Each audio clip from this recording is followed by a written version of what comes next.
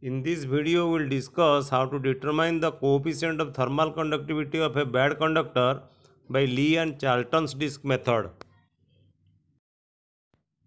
You can find out the thermal conductivity of bad conductor like glass. See, this is the glass and this is a cardboard which is also a bad conductor and this is ebonite. This is also a bad conductor of heat and they are in the form of circular disc. You take these in the form of circular disc. You see this is the boiler where you put half of the boiler you put with water filled with water and when it is heated steam is produced. Steam passes through this pipe and uh, this is the top metal disc in the top metal disc you have a steam chamber. You see this is the the upper part is your steam chamber the lower part is the metal disc. This is the hole where you put the um, thermometer. Okay through this hole you can put the thermometer having temperature T2 and there is arrangement to go steam out. This is the steam uh, arrangement for the steam out from the steam chamber and uh, and steam can uh, get in. Steam get in through this pipe. You see through this pipe steam get in and uh, after passing through the steam chamber it gets out. The steam gets out. So after 30 to 40 minutes when steam passes through the steam chamber then you will get a steady state you will get a steady state. You see you have also a bottom metal disc and you put the specimen in between top metal disc and bottom metal disc. You see this is the specimen and you put the specimen in between top metal disc and bottom metal disc as shown to you. And the whole apparatus is suspended by a clamp stand. You see it is suspended by means of a clamp stand and you uh, insert two thermometers. This is one thermometer. You see you have to insert two thermometers T1 and T2 this is the T2 thermometer which is inserted in the top metal disc. And uh, you see this is another thermometer T1 which you insert in the hole of the bottom metal disc. In this way, you insert the two thermometers. Okay. Then you heat the boiler by means of heating arrangement. I have heated it by means of a heater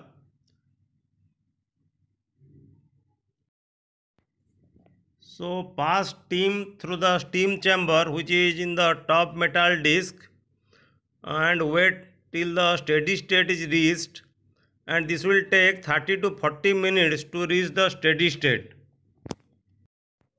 And you will observe that when the steady state will be reached, the temperature of the top metal disc uh, which you will see from the thermometer T2, it will be around 100 degree centigrade and the temperature of the bottom metal disc which will be recorded or can be uh, seen from the thermometer T1 that will be around 92 or 93 degree centigrade. The difference is about 7 degree centigrade or 8 degree centigrade.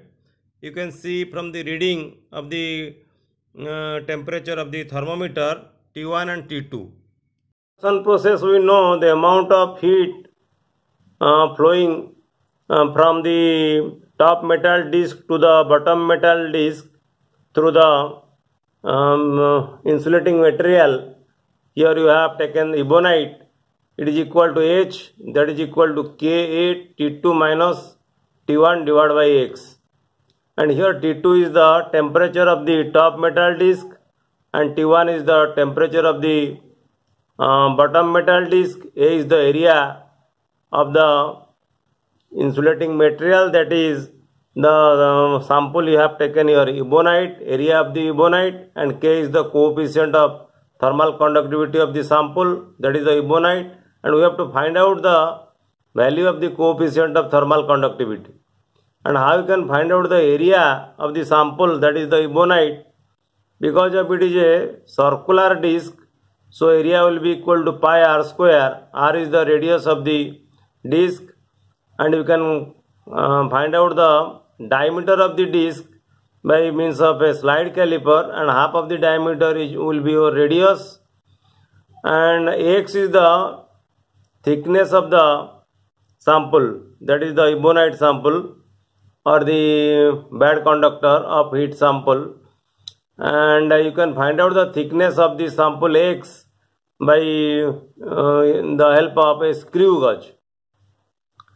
And in the experiment you will find that T2 will be nearly 100 degree centigrade and T1 value is uh, less than 100 degree centigrade. That is about 92 or, or 93 degree centigrade 7 to 8 degree centigrade. There will be a difference of 7 to 8 degree temperature difference because the top metal disc will be at a higher temperature and the bottom metal disc will be at a lower temperature because heat cannot flow easily or conduction cannot takes place easily from the top metal disc to the bottom metal disc.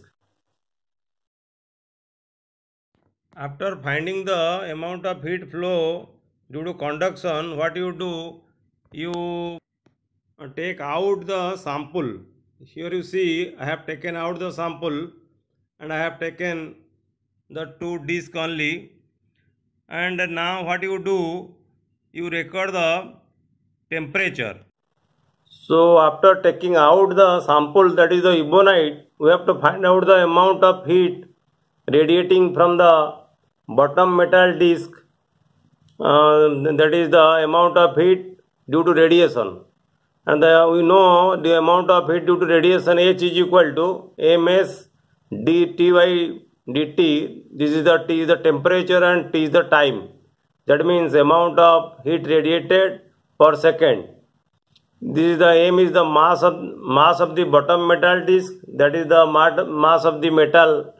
Uh, bottom metal is basically it is a steel and is the specific heat of the bottom metal disc. And you can find out the mass of this bottom metal disc by using a um, your uh, balance.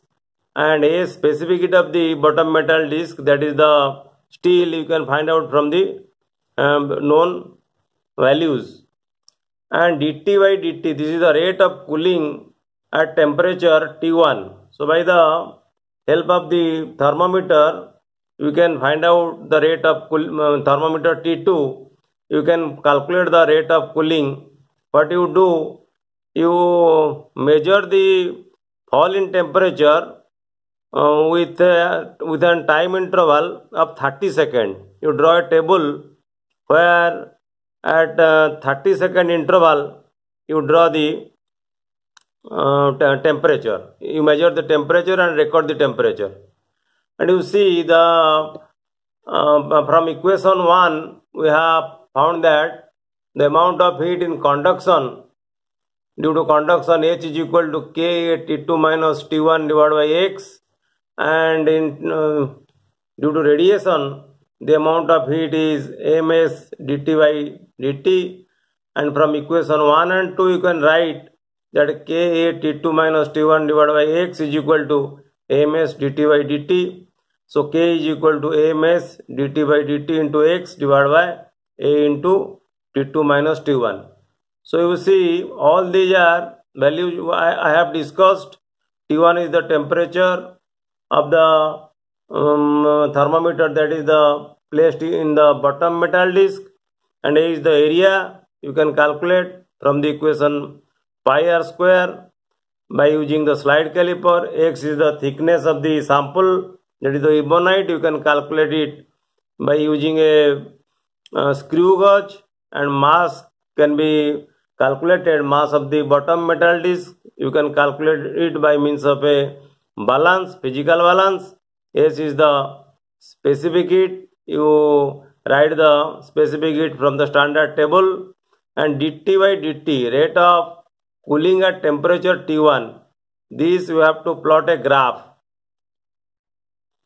So you plot a graph taking time along x-axis you have taken time in interval of 30 second and you take it along x-axis and temperature what you have recorded from the thermometer T1 it is the in Celsius. You take it in the y-axis so the nature of the graph will be like this and if you draw the line this will be equal to the delta t and this will be equal to the change in temperature and this is the change in time.